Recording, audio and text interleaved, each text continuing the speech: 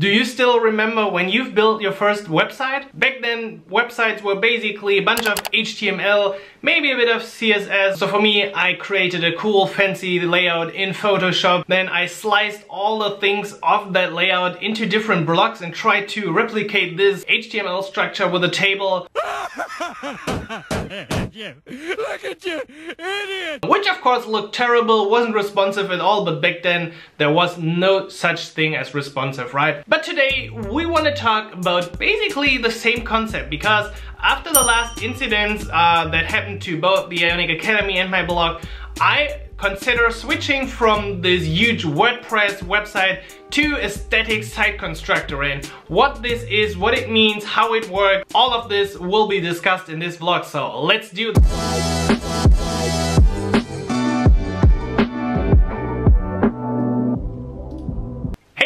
Simon here, back with a new vlog and this week we're gonna actually dive a bit more into some coding topic because as I said we want to talk about static site generator. I heard this term I think maybe even some years ago but I never really paid any attention because I was or I had started my own blog, the Devdactic blog on WordPress simply because WordPress is so super easy. You get like millions of themes um, you got thousands or perhaps also millions of plugins that you can easily install and you get all the functionalities. You know, I'm a developer, you're a developer, but we don't have to reinvent the wheel all the time. Recently, as you might know, um, a few things happened to my WordPress site. That's when I decided it is finally time to move to a static site. I decided that I will also try to build the Devdactic blog at least with a static site. So let me show you the steps that I took uh, up until this point. The page is not yet deployed, but I just want to give you a little behind the scenes of what I did so far and maybe you can also do the same if you currently own a WordPress blog or if you just want to start with a static site. So let's take a look.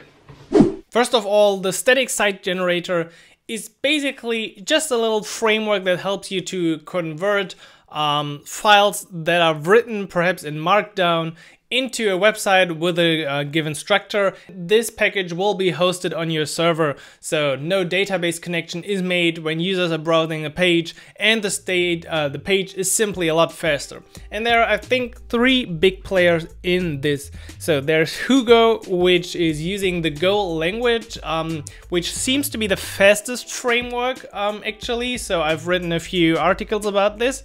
Um, then we got Gatsby JS, um, that's what Josh is using as far as I know. Um, it is a bit more using uh, React in the background, so React.js, um, something that I'm not super comfortable with uh, and therefore try to avoid. And then there's also Jekyll, which I think from those three pages actually looks like it's from the uh, last century, but it is actually pretty good.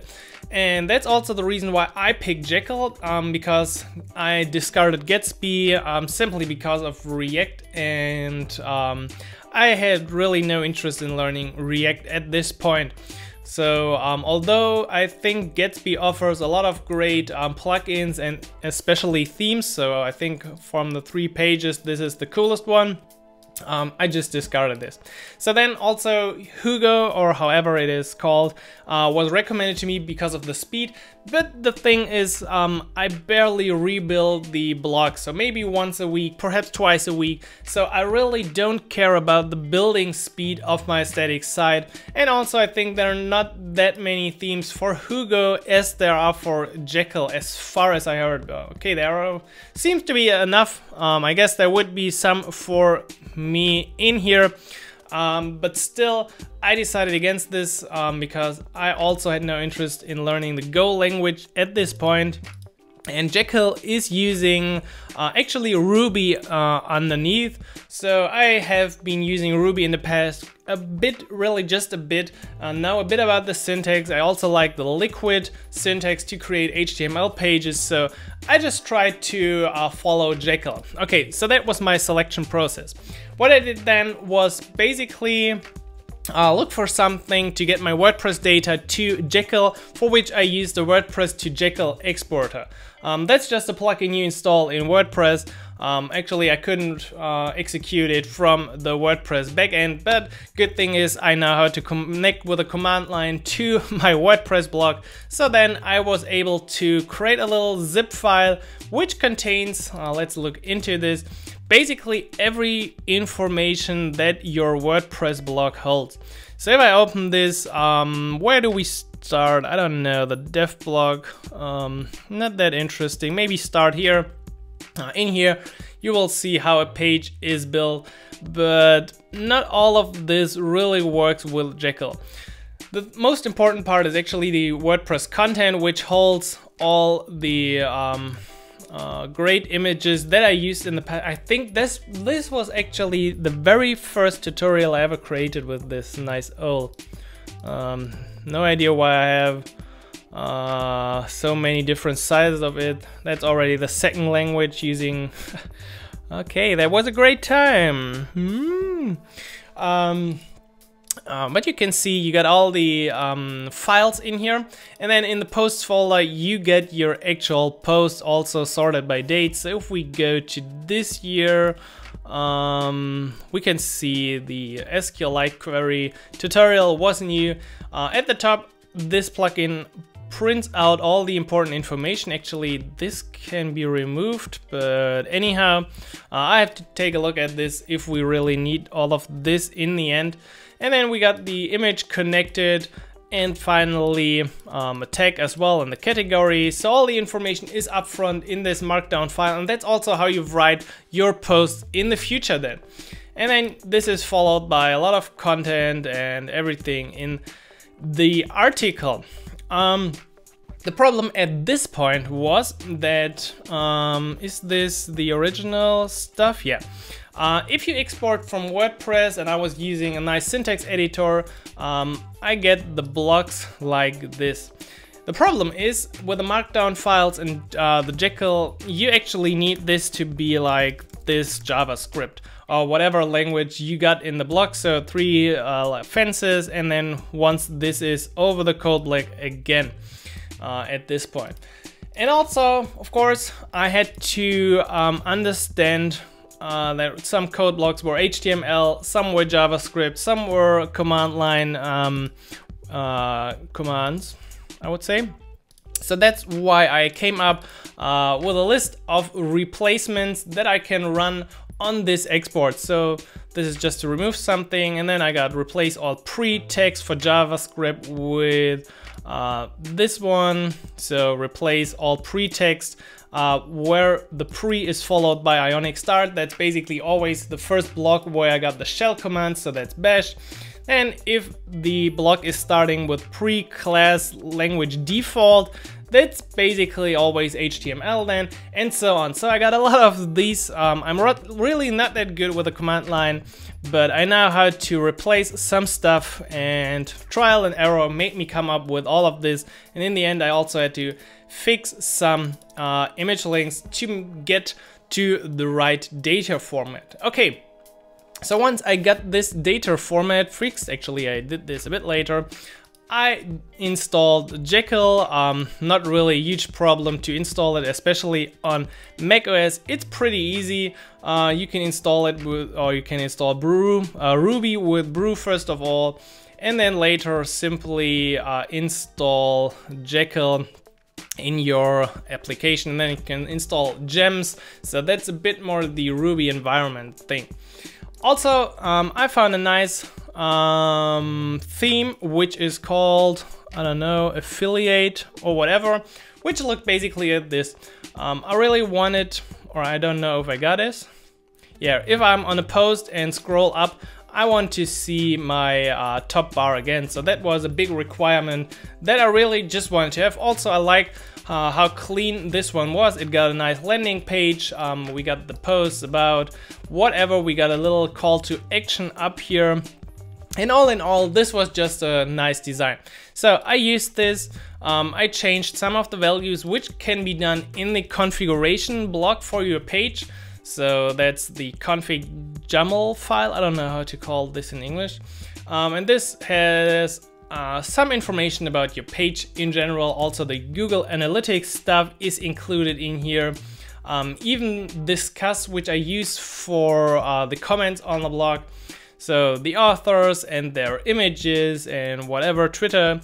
Then you got a few plugins defined. I already added a few uh, in order to show um, a Twitter timeline or show YouTube videos. Actually, I don't know how or if I show the YouTube videos already. Uh, I really, don't know. Mm, I have no transformation for YouTube. I don't know really if it works. Let's just hope it. Um, then you can define basically everything for the static generator to tell it, okay, this is page, there are categories, these are the links, please use these files, use this highlighter and the syntax highlighting system. Um, so most of this is predefined. This might look a bit scary, but give it a try, install uh, Jekyll. It is really very, very easy. So then you copy over your WordPress content um, and all the posts. And if you want, you can then also dive into the HTML files in which you will finally find the liquid uh, layout that I talked about before, which looks a bit like this um, and that. So it is not super hard, um, it is not really beautiful, um, but I can work with this. I know how this works. This actually looks a bit like Angular. Um, at some stages, other HTML files like my share bar are included and it's just easy to navigate around. Here we include even the Disqus um, HTML file, which is in the includes. So you can basically create these blocks that will then be included in your pages. And at some point you can then go ahead and run um, Jekyll serve, which will give you a nice live reload serve of your application. And if we do it right now, I can show you what my page currently looks like. So these were the steps um, that I took up until this point. My page is, I think, actually like 90% converted uh, and I could deploy it at this point. I um, I actually don't know why I haven't done it. Uh, I really want to test things out a bit, so I want to make sure that the email signups for my email list are working, that all the most important tutorials are working, the navigation is working, um, the privacy stuff is working. Uh, the contact is work. I really have to do a bit more of testing on the page um, but I think then it is time to roll it out, although there are a few things that I also want to talk about, but first let's take a look at how the page looks right now. So here we are, welcome to the new Devdactic page. Um, if you haven't seen it before, now let's start on the main page. That's the page right now. As you can see, it actually takes time to load. Um, it is I would say it is pretty old. I wanted to rework um, part of it already in the past. Not really a lot of people, I guess, are even paying attention to most of what's in here. Um, and then we got the blog stuff, we got some information, recent posts, and we can dive into the articles. Um, actually, this one I think is broke on the example. Let's dive into the calendar. And here we got the new version uh, using the affiliate theme. Um, you see, I transferred this to the Join the Academy uh, call to action up here. We got the categories, we got the blog. We actually also got this initial sign up, which triggers um, a pop-up of my email list provider ConvertKit. Um, you can also dive into right here. Um, I added a recent post uh, plugin, which takes the last recent posts, of course, and bundles them into the homepage as well. And at the bottom, I also got this Twitter plugin and the quick links, even got the privacy bar. And as you can see, if I move around here, this is just blazing fast. You see, everything is basically coming up in seconds. So there's really like no loading time at all. Uh, from the UI perspective, I kind of like how it looks actually. Uh, I think it's even a bit more... I didn't know I include a share plugin. Uh, I think it's even a bit nicer than the current um, uh, design. Maybe you can let me know what you think about this. Um, I already changed some. Um, the only problem I have with this are the code blocks. So I really don't like how the code blocks look, look in here. So as you can see right here, there's, I don't know why in this case, but here's like no syntax highlighting at all. Uh, let's maybe dive into an Ionic post. I think they should look at least a bit better. Uh, let's see, Firebase. Okay, here we got at least some syntax highlighting. But the problem is that previously on my blog I had um, a very nice syntax highlighting including um, marking specific lines and that is something that's not yet working with Ruby um, or the syntax highlighting plugins available for Jekyll. Um, I really don't know. I think this is a big plus for the editor I'm currently using. I can really uh, highlight if I got a large block like this. Um, you see, if we then take a look at this, I cannot highlight anything in here. I can, maybe I just have to make smaller blocks then. Um, perhaps you can let me know what you think about this problem. For me, actually, I think it is a huge problem. So that's also one of the reasons I haven't deployed it yet.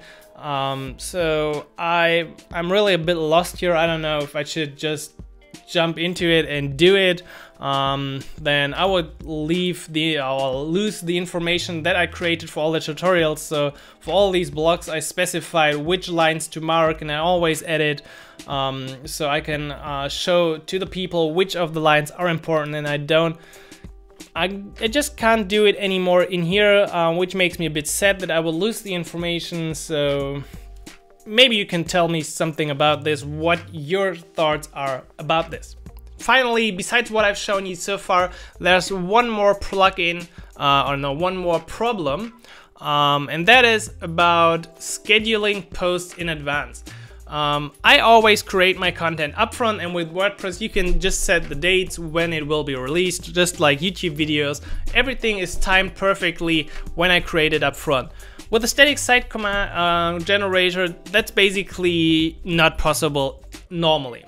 Okay, I guess this uh, vlog was a bit longer than usual. Um, I still hope you enjoyed the little adventure into static site generators.